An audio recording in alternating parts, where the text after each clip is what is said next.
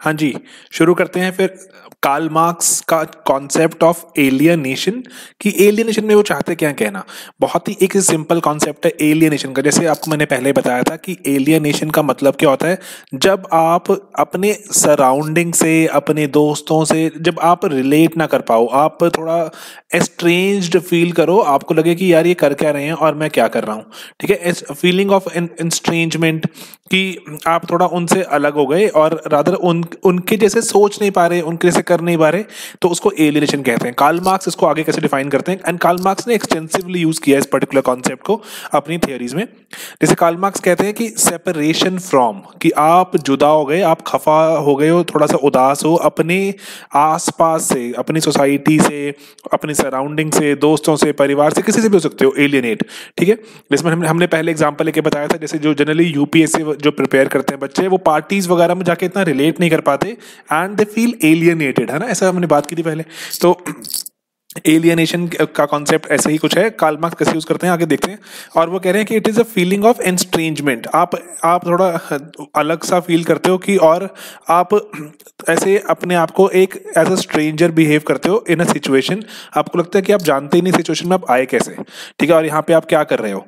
ठीक है dish enchantment बहुत ही अच्छा वर्ड है, यहाँ पे डाल सकते हो ठीक है, और उसके बाद ये काल मार्क्स की जो थ्योरी है हमारी क्लास स्ट्रगल की, उसमें वो एलियनेशन के साथ उसको अगर हम रीड करें मार्क्स ने एलियनेशन अपनी अलग किताब है, दास कैपिटल, उसमें डिस्कस किया, मैं आगे बताऊँगा।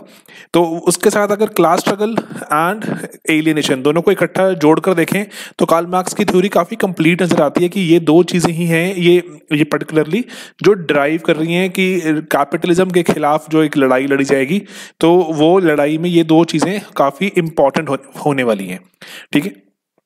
And it is a situation of powerlessness isolation meaninglessness कि आपको लग रहा है कि कि पर्टिकुलरली ये ऐसी सिचुएशन में आप कुछ बदलाव भी नहीं कर पा रहे, आप काफ़ी पावरलेस फील कर रहे हो आइसोलेटेड फील कर रहे हो एंड मीनिंगलेस फील कर रहे हो। और कार्ल मार्क्स क्या कह रहे हैं कि वर्क प्लेस पर जो एलियनेशन है, वो बहुत इंपॉर्टेंट एक तरह की एलियनेशन है, और उसी एलियनेशन से समाज बदलने का सारा मसाला पैदा होगा, और उसी एलियनेशन के चलते ही इन जो इंसान होगा, वो ट्राई करेगा कि सब कुछ मैं जो अपने सराउंड सराउंडिंग को बदलूं, क्योंकि वो जो एलियनेशन जो वर्क प्लेस है वर्क प्लेस सुपर स्ट्रक्चर को जन्म दे रही है कि किस तरह का सुपर स्ट्रक्चर है। जैसे वर्क प्लेस के चलते ही तो हो रहा है कि क्लासेस बनी हुई हैं दो तरह की हैव्स एंड हैव नॉट्स तो उन सुपर स्ट्रक्चर को बदलने का कहाँ से सब कुछ ये जो जो आपको अगर बोलूँ, जो बारूद या असला आ रहा है कहाँ से आ रहा है? वर्क प्लेस से। तो वर्क प्लेस सोर्स है एलियनेशन का। आगे कॉजेज में बताते हैं काल मार्क्स कि क्या है कॉजेज एक तो मैडनिंग वर्क कि बिल्कुल पागलों जैसे काम करते हैं लोग चौदह से सोलह घंटे, जिस जिस अठारह सौ पचास में जब वो मार्क्स लिख रहे हैं, उसके आसपास की एरा में। उसके कारण एक तो एलिनेशन बहुत ज़्यादा हो रही है और एक बहुत इंपॉर्टेंट चीज़ क्या है, दो चीज़ें बताएँगे कि एक तो क्रिएटिविटी कहीं इंसान दिखा नहीं पा रहा। मशीनें काम कर रही हैं, मशीनें बनाती रहती हैं प्रोसेस प्रोडक्ट चलता रहता है। इंसान बस उसमें कुछ ना कुछ उसके असिस्ट करता है मशीनों की मदद से। तो इंसान को कहीं क्रिएटिविटी नज़र नहीं नहीं आती तो इंसान एलियनेट हो जाता है काल मार्क्स के हिसाब से। ठीक है? ये याद रखना दोनों बातें। आगे। एलियनेशन के बारे में अगर और देखें कार्ल मार्क्स का बहुत ही एक अच्छा एक कोट है ये, किताब है इनकी वही इकोनॉमिक्स एंड पॉलिटिकल मैनोस्क्रिप्ट याद हो जाए तो अच्छी बात है। तो वहाँ पे कार्ल मार्क्स क्या बोलते हैं? इन बुर्जुआ सोसाइटी बुर्जुआ मतलब capitalist society capital is independent कि पैसा आज़ाद है, पैसे की इंडिविजुअलिटी भी है। Capital is independent and has individuality while the living person जो लेकिन वो कह रहे हैं, जो ज़िंदा इंसान है, वो डिपेंडेंट हो चुका है एंड उसकी कोई इंडिविजुअलिटी नहीं है। बहुत ही ज़बरदस्त कोट है, दोबारा पढ़ो बहुत मज़ा आएगा आपको। ठीक है पॉज करके यहाँ पढ़ लेना। Capital is independent and has individuality while living person is dependent and has no individuality okay और वो कह रहे हैं, इतना एलियनेटिंग सिचुएशन है कि इंसान की कोई कदर नहीं है, सब कुछ सिर्फ़ कैपिटल या पैसा ही हो गया है। ठीक है? ओके अब यहाँ पे कार्ल मार्क्स का कॉन्सेप्ट है बीइंग वर्सेस सोशल बीइंग समझने की ट्राई करना मैं आगे मैं समझाऊँगा उसमें लिख के भी। पहले एक बार इसको समझ लो क्या कह रहे हैं। बीइंग बोल रहे हैं कि ना इंसान का कुछ इनर सेल्फ भी होता है, जो जो बहुत ही क्रिएटिव सेल्फ है।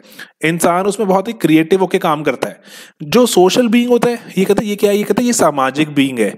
ये जो किस तरह की सोसाइटी चल रही है, उसके हिसाब से बदलता रहता है।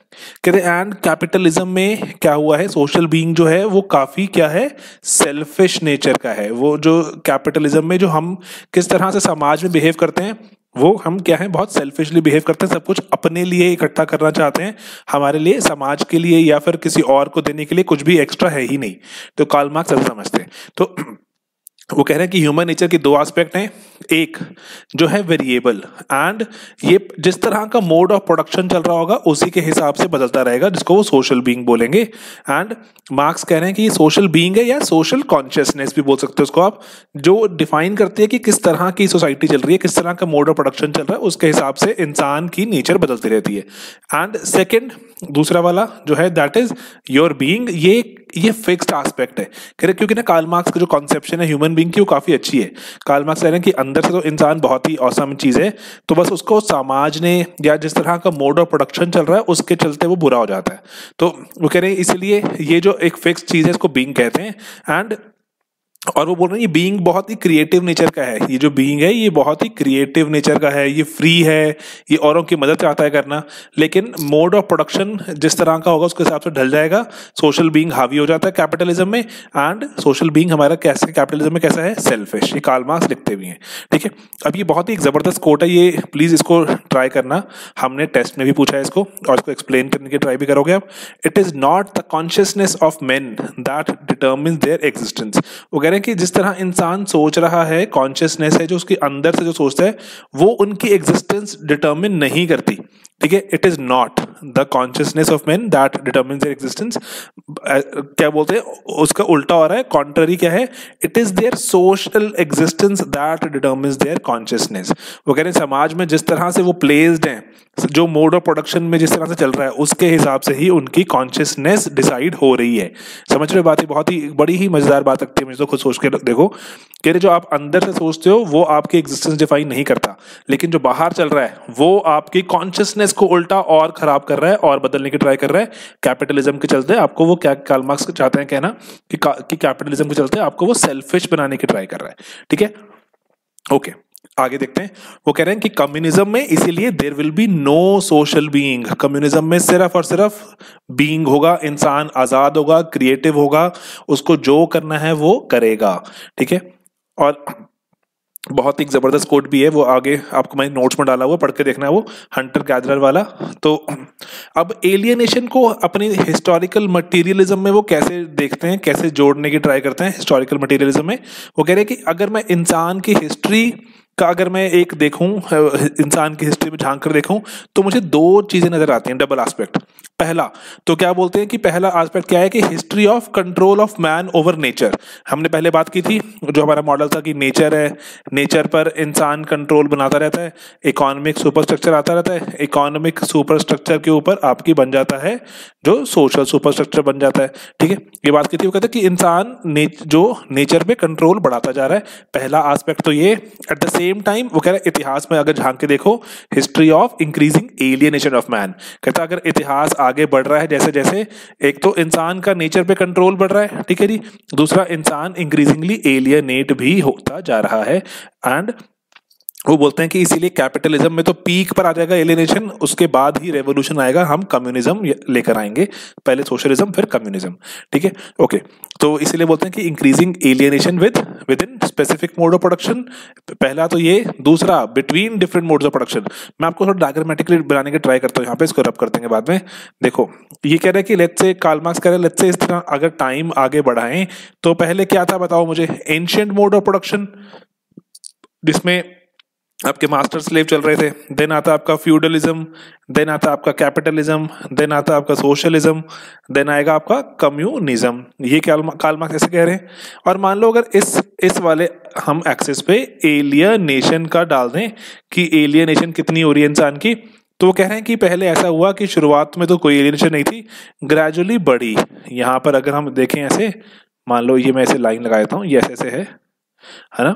कहते हैं, अगर हम देखें तो एक बार तो बढ़ी, फिर एक बार रेवोल्यूशन आएगा मास्टर स्लेव वाला, एक बार डिप हो जाएगी सॉरी एक बार डिप हो जाएगी, लेकिन फिर बढ़ेगी। है ना, फिर रेवोल्यूशन आएगा, फिर डिप हो जाएगी, लेकिन कहते फिर बढ़ेगी। ऐसे। कहते और ना कहते कैपिटलिज्म तो पीक पे आ जाएगी। कैपिटलिज्म में तो ये पीक पर आ जाएगी। उसके बाद ये डिप करनी शुरू होगी, फिर नहीं बढ़ेगी। एंड कम्युनिज्म के चलते चलते तो ये बिल्कुल ही ज़ीरो हो जाएगी। एंड ये वाले दो पॉइंट है हमारे, ये यही बता रहे हैं। यहाँ पर देखें increasing alienation within the specific mode of production जब ये चल रहा था हमारा एंशंट एमओपी तो बढ़ती गई, है ना? लेट्स से अगर आप कैपिटलिज्म देखो, ये वाला जब चल रहा था तो एक बार थोड़ी डिप मारती है, फिर बढ़ जाती है। है ना? एक तो कहते तो within the specific MOP बढ़ती गई एंड कहते अगर मैं डिफरेंट एमओपी को भी कंपेयर करूँ, उनमें बढ़ती गई। पहले लेवल ये आया था, फिर लेवल ये आ गया, फिर लेवल ये आ गया। ये within and between different दोनों में ही एलियनेशन बढ़ती जा रही है। काल मार्क्स ऐसा समझते हैं। अगर आप ये डायग्राम बना दोगे, तब भी बहुत ही अच्छी बात है। ये किसी बुक में नहीं गिवन हमने खुद से ही एक इंटरप्रिटेटिव हमने ये बना दिया। ठीक है? आप ये पूरा लिख देना। यहाँ पे एंशियंट मोड ऑफ़ प्रोडक्शन है फ्यूडलिज्म कैपिटलिज्म सोशलिज्म कम्युनिज्म ठीक है? कम्युनिज्म में it will start touching zero कि एलियनेट नहीं होगा इंसान काल मार्क्स ऐसा समझते हैं। आगे। अब किताब है, इनकी जो सबसे वैसे फ़ेमस वर्क है जो दास कैपिटल, जो द कैपिटल बनता है इंग्लिश में जर्मन में लिखे दास कैपिटल, सब कुछ जर्मन में लिखा है इन्होंने। In the chapter of fetishism of commodities ये एक चैप्टर है उसमें फेटिशिज्म ऑफ़ कमोडिटीज ये एक्सप्लेन करते हैं कि एलियनेशन हो जाएगी इंडस्ट्रियल सोसाइटी में बहुत ज़्यादा। बहुत ही इंपॉर्टेंट पॉइंट है, यहाँ पे ये याद रखना है आपने पेपर में लिख के भी आना है। वो कह रहे हैं उसमें चार टाइप्स ऑफ़ एलियनेशन है। हमारी कैपिटलिस्ट सोसाइटी में चार तरह की एलियनेशन है, बहुत ही बहुत ही ईजी टू रिमेंबर मैं बताता हूँ कौन से कौन सी पहला पहला बोलते हैं प्रोसेस से। आप एलियनेट हो जाओगे प्रोसेस से। कैसे कहते हैं? मशीन्स इन एनिमेट सोर्स का मतलब होता है कि बिजली से काम हो रहा है जनरली कोई किसी की जान नहीं लग रही। बिजली काम मशीनें चला रही है। Inanimate source of energy machines ये सभी कुछ काम कर रहे हैं जो प्रोडक्शन पूरी प्री डिजाइंड है। वर्कर का कोई कंट्रोल नहीं है मशीनों वगैरह पर। तो कोई उसको क्रिएटिविटी फील नहीं होती, कोई ओनरशिप फील नहीं होती। तो इसीलिए प्रोसेस के कारण भी वो क्या होता है? एलियनेट हो जाता है वर्कर आपका। दूसरा कहते एलियनेशन प्रोडक्ट से भी हो जाती है। क्योंकि कहते हमने जो कितनी क्वांटिटी बनानी है, कितनी क्वालिटी का बनाना है, हम तो डिसाइड कर ही नहीं रहे। ये सारा तो कैपिटलिस्ट डिसाइड कर रहा है। एंड उसके बाद कहते सबसे बड़ी बात तो क्या है? प्रोडक्ट बन गया। मार्केट में जाके वो उसको वर्कर को वो प्रोडक्ट परचेज भी करना पड़ता है। ऐसा नहीं है ना, जैसे लेट से अगर आप मारुति में जॉब करते हो, ऐसा नहीं है ना आपको मारुति फ्री मिल रही है सारी, जितनी मारुति खरीदने खरीद लो। आपको थोड़ा डिस्काउंट मिल जाएगा, दस परसेंट परसेंट, लेकिन आपको अल्टीमेटली परचेज तो करनी पड़ेगी। सेम चीज़ जो आपने बनाई थी अपने हाथों से। तो तो बोल रहे हैं कि आपका, आपको फीलिंग ही नहीं आती कि आपकी ओनरशिप ही नहीं है, आपने कुछ किया ही नहीं, आपका प्रोडक्ट ही नहीं है ये। तो पहले चीज़ तो होगी हमारी प्रोसेस से, दूसरी होगी हमारी प्रोडक्ट से एंड देन एलियनेशन हो जाती है जो फेलो वर्कर्स फेलो वर्कर से हो रहेगी क्योंकि किसी से इंटरैक्ट करने का वक्त नहीं है हमारे पास तो फेलो वर्कर से हमारी एलियनेशन हो जाएगी। एंड चौथी है एलियनेशन किससे? खुद से। ये है सबसे ही डेंजरस लेवल खुद से एलियनेशन कैसे होगी? कि उसको, कहते हैं, इंसान को वर्कर को अपनी ही एग्जिस्टेंस पे डाउट होना शुरू हो गया कि मैं करके आ रहा हूँ ज़िंदगी में। बहुत सारे बच्चों को भी ज़िंदगी में शुरू होता है, जब वो जब वो यूपीएससी की तैयारी करना शुरू करते हैं, करते हो कर क्या रहे हैं। लेकिन अंत बहुत अच्छा है यूपीएससी का, अगर आप अफसर बनोगे तो यू विल रियलाइज़ कि बहुत ही आपके पास स्कोप है अच्छा करने का। चलो वापस आते हैं काल मार्क्स पर। वो कहते हैं वर्कर डाउट करना शुरू करता है कि अपनी एग्जिस्टेंस पर। कहते हैं, अपने लिए कोई टाइम नहीं है उसके पास। फैमिली से इंटरेक्ट करने का कोई वक्त नहीं है। सैलरी बहुत लो है। और कहने को तो he is free to sell his labour लेकिन वो कह रहे हैं, ये फ्रीडम भी है, ये धोखा है इट इज़ डिसेप्टिव क्योंकि इतनी ही मिनिमम सी सैलरी है कि बस सर्वाइवल होता है। सिर्फ़ गुजारा होता है, कुछ बचता नहीं है, ऐसा नहीं है कि मैं छुट्टी लेके कुछ काम कर लूँ नो कहते इसीलिए खुद से भी वो मैडनिंग वर्क के चलते सेल्फ से भी हो जाएगा एलियनेट तो चार कौन से हुए? एक तो प्रोसेस से, दूसरा प्रोडक्ट जो प्रोडक्ट बनाया उससे तीसरा काल मार्क्स लिखते हैं अपने पड़ोसी जो दोस्तों से फेलो वर्कर से, चौथा कहते हैं खुद से ही, खुद से नाराज़ हो गया। तो इसलिए एलिनेशन चार लेवल पे हो जाएगी एंड कहते हैं फाइनली जो इंसान का वर्कर का he loses a sense of control over his own will कि खुद पे ही कुछ अपनी मर्ज़ी पे काबू नहीं रहा जो चाह रहा है सिस्टम करवाना, वो करता जा रहा है। सिस्टम ने इतना उसको मजबूर कर दिया है, गुजारे नहीं होते। तो जो सिस्टम करवा रहा है, अठारह घंटे काम, सोलह घंटे काम, उसको करना पड़ रहा है, क्योंकि कोई और ऑप्शन ही नहीं है। इसीलिए कहते हैं कि एलियनेशन पीक पे पहुंचेगी इसमें एंड ट्रू रेवोल्यूशन इसीलिए कैपिटलिज्म में ही आएगा। एंड यहाँ बहुत ही एक और ज़बरदस्त कोट है, देखो काल मार्क्स कोट से भरा हुआ है। काल मार्क्स में हज़ारों कोट्स हैं, मैं तो सिर्फ़ कुछ ही लेके आऊँ आपके लिए। तो जैसे क्या लिखते हैं कि subject object relationships get inverted inverted कि subject object relationship get inverted objects become subject masters थोड़ा ठीक कर लेना इसको। Subject objects become subject masters कितनी इंपॉर्टेंट कितनी सही लाइन है। जैसे आपने अपनी लाइफ में फील करके देखो आप ये मोबाइल फ़ोन पर, कि मोबाइल फ़ोन आइडियली तो आप उसको कंट्रोल करते होने चाहिए, लेकिन हो क्या रहा है, आज के एरा में मोबाइल फ़ोन आपको कंट्रोल कर रहा है। सब्जेक्ट ऑब्जेक्ट रिलेशनशिप बिल्कुल ही इन्वर्टेड है, बिल्कुल घूम गए। मोबाइल आपका होना चाहिए था लेट्स से अगर मैं बोलूँ स्लेव आप थे मोबाइल के यू वर मोबाइल मास्टर, लेकिन उल्टा हो गया मोबाइल मास्टर बन गया, आप उसके स्लेव हो। तो इसीलिए कार्ल मार्क्स भी ये 1850 में ऐसा बातें लिख गए कि कि किस तरह से कैपिटलिज्म के चलते ये रिलेशनशिप इन्वर्ट होने ही होने हैं। ऑब्जेक्ट्स ही आप पे रूल करेंगे। आपको नया नया लेट से सामान चाहिए होगा और आप हमेशा ही उनके गुलाम बन के घूमते रहोगे, अपने बारे में कभी सोचोगे ही नहीं। ओके चलो, ये इसलिए मुझे बहुत बार लगता है कि कार्ल मार्क्स उस जमाने के कोई संत महात्मा बाबा जी रहे होंगे जिनकी बातों को रिकॉर्ड कर दिया गया, लिख दिया गया अकेडमिक लैंग्वेज में।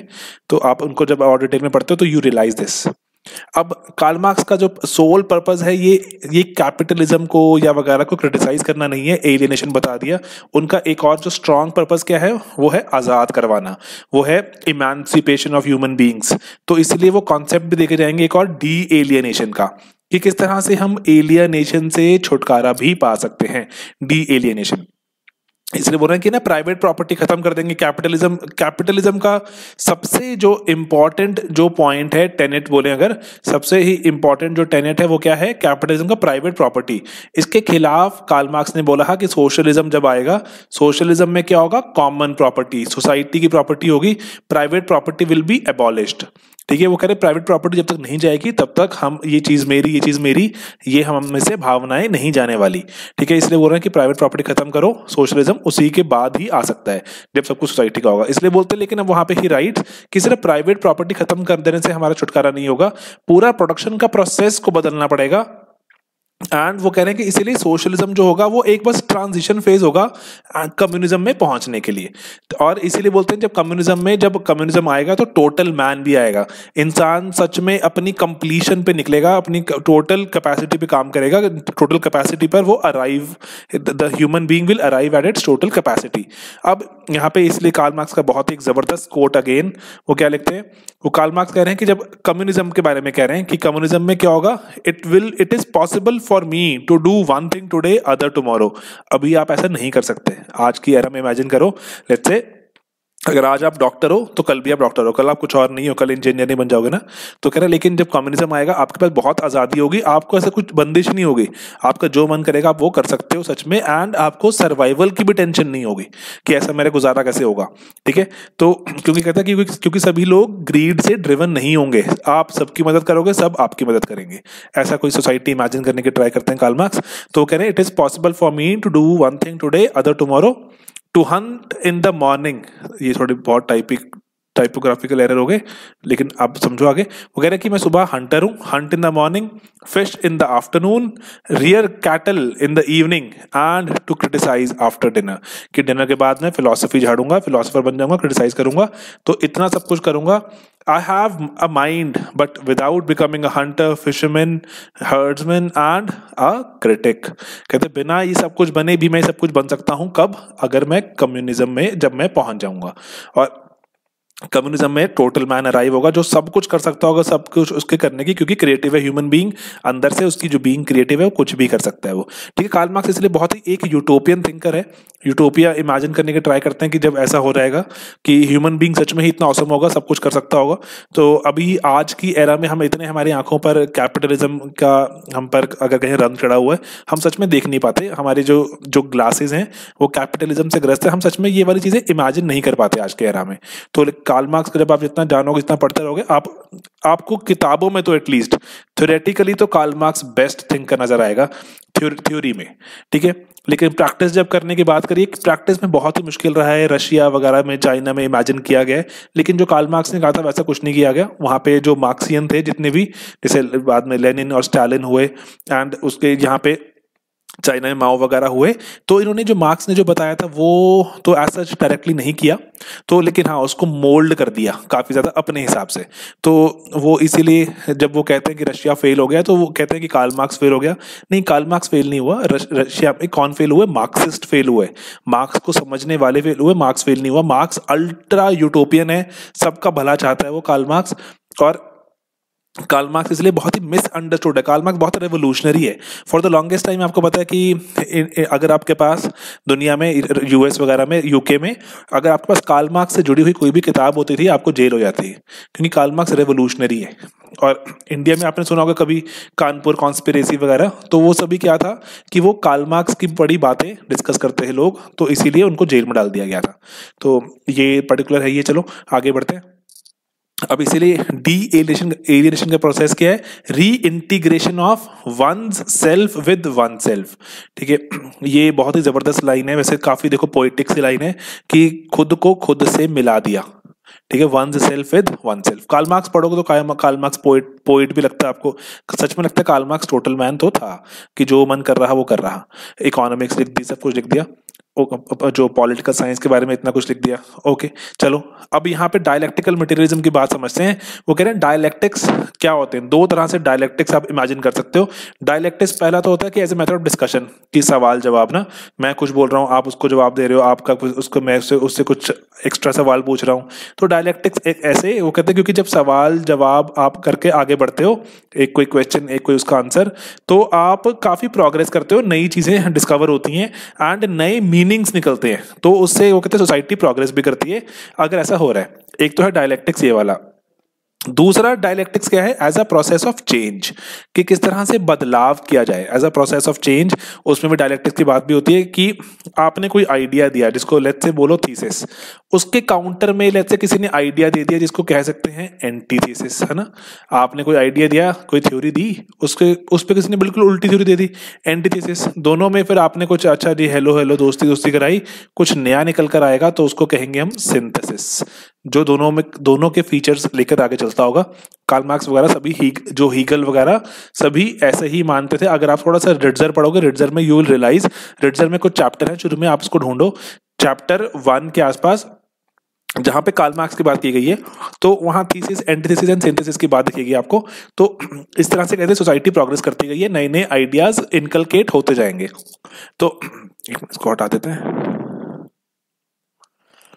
का जो मार्क्स ने, इसलिए हिगीलियन जो डायलेक्टिकल आइडियलिज्म था, उसको थोड़ा सा चेंज करके मटीरियलिज्म पे डाल दिया। अगेन मैं आपको एक बात चाहता हूँ समझाना बेसिक से आइडियलिज्म और मटीरियलिज्म हमने पहले ही बात की थी। मैं क्विकली रिवाइज करा रहा हूँ आपको। आइडियलिज्म और मटेरियलिज्म में पहले मटेरियलिज्म अगर देख लो मटेरियलिज्म क्या होता है कि मटेरियल सराउंडिंग जो आपके आसपास जो चीज़ें आपको सराउंड करती हैं, चाहे चाहे वो फ़िज़िकल हो, जिनको आप छू सकते हो, है ना? चाहे वो फ़िज़िकल हो, या फिर आइडिया या फिर नॉन फ़िज़िकल हो। नॉन फ़िज़िकल हो, है ना? नॉन फ़िज़िकल तो वो कह रहे हैं कि जो आपके आसपास की चीज़ें हैं, वो आपको बदलती हैं कि आपका जो मटेरियल सराउंडिंग है फ़िज़िकल नॉन फ़िज़िकल ये इंसान को ह्यूमन को बदल देता है। ठीक है? This is the idea of materialism ठीक है? जबकि आइडियलिज्म क्या कहते हैं? नहीं ह्यूमंस के पास आइडिया है ह्यूमन मीनिंग देगा मटेरियल को, कि इस मटेरियल को कैसे यूज़ करना है, या कैसे शेप देनी है, इसको डिस्कार्ड करना है, इसको इवॉल्व करना है ह्यूमन कर रहा है। तो ये ये किसका बेसिक सी अंडरस्टैंडिंग है? आइडियलिस्ट की। मटीरियलिस्ट एंड आइडियलिस्ट में समझ गए आप? मटीरियल ह्यूमंस को बदल रहा है, ये मटीरियलिस्ट समझते हैं एंड ह्यूमंस के ideas are giving shape to material ये आइडिया लिस्ट समझते हैं। ठीक है? ये एक बेसिक सी अंडरस्टैंडिंग आप दिमाग में हमेशा रखना आइडियलिस्ट एंड मटीरियलिस्ट ठीक है वो वाला मटीरियलिस्ट में समझना कि जब बोलते ना किसी को बोलते बड़ा मटीरियलिस्ट आदमी है। वो वाला मटीरियलिस्ट क्या होता है जिसको धन दौलत चाहिए होता है वो वाला मटीरियलिस्ट अलग होता है। ये वाला थोड़ा सा डिफरेंट मीनिंग है मटीरियलिज्म का। ठीक है? ओके अब यहाँ पे कार्ल मार्क्स के बहुत अच्छे दोस्त थे यूके में जो फ्रेडरिक एंगल एंग, एंगल्स बोलते हैं इनको एंगल्स ठीक है? एंजल्स नहीं बोलते शायद एंगल्स फ्रेडरिक एंगल्स तो एंगल्स ने तीन लॉ दिए डायलेक्टिक मटेरियलिज्म के थोड़े कॉम्प्लेक्स हैं, लेकिन मेरे हिसाब से अगर आप थोड़ा उनको इतमान से समझो तो बहुत आराम से समझ आ जाते हैं, क्योंकि ऐसे सोशो में तो जनरली कुछ ऐसा है नहीं जो कॉम्प्लेक्स है। तो तीन लॉज क्या है डायलेक्टिकल मटेरियलिज्म के? पहला, वो कह रही लॉज पहला है law of law of unity and conflict of opposites इसका मतलब क्या हुआ? वो कह रहे हैं कि जो ऑपोजिट्स हैं ऑपोजिट्स वो कहते हैं कि आपस में लग रहा है कि उनका कॉन्फ्लिक्ट है, लेकिन कॉन्फ्लिक्ट नहीं है, वो यूनाइटेड भी हैं। कैसे? वो कह रहे हैं कि एक चीज़ एग्जिस्ट करती है, इसी के कारण दूसरी एग्जिस्ट करती है। फॉर एग्ज़ाम्पल लेट से अगर हर वक्त ही दिन, रात, सुबह, शाम, अगर लेट से सूरज चमकता रहता, है ना? अगर दिन, रात, अगर हर वक्त ही सूरज चमक रहा है, कभी भी सूरज ढलता नहीं, ऐसा मान लो सिस्टम होता तो हम हम सिर्फ़ डे बोलते है ना? या तो हम उसका कुछ नाम ही ना रखते। डे अगर हम बोलते हैं, इसका मीनिंग पता क्यों है? क्योंकि नाइट एग्जिस्ट करती है। अगर रात आती है ना, तभी हमें पता है कि डे आ गया। अदरवाइज़ लेट्स से चली जा रहा कोई चीज़, एक चलती रहती चलती रहती। हमें पता ही नहीं होता कि सूरज छुप रहा अभी कोई आइडिया होता है। अभी सूरज छुपता है, जब नाइट आती है तो हमें डे की फीलिंग आती है। सिमिलरली किसी के पास जब एक्स्ट्रा पैसे होते हैं तो उसको आप बोलते हो रिच किसी के पास पैसे जब कम होते हैं, उसको आप बोलते हो पुअर अगर सबके पास सेम पैसे होते हैं, कोई रिच पुअर के नाम की कोई चीज़ ही ना होती। है ना? तो इसीलिए बोलते हैं कि ना, दुनिया में ऑपोजिट्स अगर एग्जिस्ट करते हैं तो देर इज़ अ रीजन क्योंकि हाँ देखने में लगता है वो कॉन्फ्लिक्ट है उनमें, आपस में, लेकिन उनमें यूनिटी भी है। वो दे इसको ऐसे काल मार्क्स ऐसे अपने वर्ड में बोले तो क्या बोलते हैं? They presuppose each other presuppose एक के कारण ही दूसरे की एग्जिस्टेंस है अदरवाइज़ तो हम उनको पहचान ही ना पाते, देख ही ना पाते। कि ऐसी कोई चीज़ भी है। दूसरा दूसरा बोलते हैं law of negation of negation वो कह रहे हैं कि डायलेक्टिकल मटेरियलिज्म में थोड़ा सा कहते हैं, जब इतिहास में अगर हमें झाँक के देखा आप काल मार्क्स की बात ही करें तो कह रहे हैं पहले था आपके पास एंशियंट मोड ऑफ़ प्रोडक्शन जिसमें मास्टर स्लेव थे, उसमें आपने बदला तो आपने फ्यूडलिज्म ले आए, है ना? उसके बाद आपने इसमें से छुटकारा पाया तो कैपिटलिज्म आ गया। तो कह रहे, देखो, हो क्या रहा कहते इतिहास में झाँक के देखो, एक बीमारी से छुटकारा पाने के लिए आपने कुछ उसको हटाया, दूसरी बीमारी मिल गई। इससे आपने छुटकारा डालने के लिए कुछ इलाज किया, तीसरी मिल गई। तो कहते निगेशन ऑफ़ निगेशन ही होती जा रही है कि एक चीज़ को निगेट करने के लिए आप एफर्ट लगाते हो, दूसरी चीज़ आ जाती है, उसको निगेट करना पड़ता है। तो इसलिए निगेशन ऑफ़ निगेशन होती जा रही है capitalism will be end of it capitalism will be end of negation of negation क्योंकि इसके बाद वो क्या बोलते हैं? सोशलिज्म आएगा एंड अल्टीमेटली यहाँ पर आपका जो प्रोसेस ऑफ़ एलियनेशन है, वो डी एलियनेशन कंप्लीट हो जाएगी। एंड देन थर्ड अपना लास्ट है आस्पेक्ट ये जो जनरली बच्चों को समझ नहीं आता, बहुत ही सिंपल है वैसे ये अगेन वो बोलते हैं ट्रांजिशन ऑफ़ क्वांटिटी क्वांटिटी समझते हो ना quantity into quality quantity into quality का मतलब बहुत सिंपल मतलब है कि जैसे आपको मैं एग्जांपल से समझाता हूँ जो काल मार्क्स में लिखते हैं। वो लिखते हैं कि जैसे जो वर्कर्स हैं वर्कर्स को पता है कि उनके साथ कुछ बुरा हो रहा है। जैसे कहते हैं कि उनको पता है कि उनकी सैलरीज काफ़ी लो हैं, है ना? और उनको पता है कि उनकी जो वर्किंग कंडीशन हैं working condition they are not that good कि लेट से साफ़ सफ़ाई नहीं है और लाइट अच्छी नहीं है और कुछ खाने का सामान भी अच्छा नहीं मिलता, जो भी है है ना? वेजेस भी कम है कंडीशन भी अच्छी नहीं है और वर्किंग आवर्स ज़्यादा हैं, जो भी। है ना? तो कह रहे हैं कि इसमें अब वो जब स्ट्राइक करते हैं डिमांड करते हैं, क्या बोलते हैं? हमारी वेजेस बढ़ा दो, हमारी वर्किंग कंडीशंस इंप्रूव कर दो, यही बात करते हैं। तो कह रहे हैं कि you are only demanding quantity कह रहे एक दिन जब एलियनेशन इतनी बढ़ जाएगी एलियनेशन इतनी बढ़ जाएगी तो you will not demand change in quantity कहते, आप क्या करोगे? You will demand change in quality आप बोलोगे, ये सिस्टम ही नहीं चाहिए मुझे कि मैं वर्कर आप ओनर मुझे ये सिस्टम ही नहीं चाहिए। I want to let go of this system itself then you will कहते stop fighting for wages working condition then you will start fighting for what then you start fighting for system change of system तो इसको बोलते हैं कि transition हो जाता है gradually पहले तो आप क्वांटिटी के लिए लड़ रहे होते हो बट लेकिन एक दिन आप देन यू रियलाइज़ जिसको काल मार्क्स क्या बोलते हैं ट्रू कॉन्शियसनेस आप देन यू रियलाइज़ कि क्वांटिटी बदलने से कुछ नहीं होने वाला क्वालिटी ही बदलनी पड़ेगी, हमें क्वालिटेटिव चेंजेस ही लाने पड़ेंगे। तो ये तीन जो एंगल्स के जो लॉज हैं, ये बताते हैं क्या एलियनेशन से छुटकारा पाने के तरीके। ओके ठीक है। तो बाकी जो नोट्स में और बीच में जो गप्पे, कहानियाँ थोड़ी सी और एक आधा डायलॉग और एक्स्ट्रा ऐड किया हुआ बाकी ऐसा कुछ नहीं है कि कुछ हमने मिस कर दिया। तो ये चीज़ें हैं, लेकिन अगेन आई रिपीट रिडजर में हमारे पास कालमार्क्स चैप्टर शुरू के चैप्टर्स में गिवन है। वो रिडजर पढ़ना शुरू करो। एंड कुछ स्पेसिफिक क्वेश्चन हैं जो मैं अपनी जो वहाँ पे ना जो टेस्ट में जो हमारे टेस्ट सीरीज़ चल रही है, उस स्पेसिफिक में कुछ क्वेश्चन मैं चाहता हूँ डिस्कस करना। जैसे लेट्स एक सिंपल सा क्वेश्चन होता है हमारे पास। अब तो आना बंद हो गया, पहले आता कि is failure of USSR uh, is failure of USSR uh, depict does does failure of USSR depict failure of Marx आप उसमें कुछ बात करते हो ऐसे ऐसे छोटी छोटी चीज़ें होती हैं और बाकी मार्क्स का क्या पॉइंट ऑफ़ व्यू रहा है कि रिलेशनशिप कैसे हमारे इन्वर्ट हो रहे हैं एट्सेट्रा एट्सेट्रा छोटी छोटी चीज़ें हम ये टेस्ट सीरीज़ में डिस्कस करते चलेंगे और वहाँ पे मैं आपको थोड़ा सा और इसके बारे में बता दूँगा।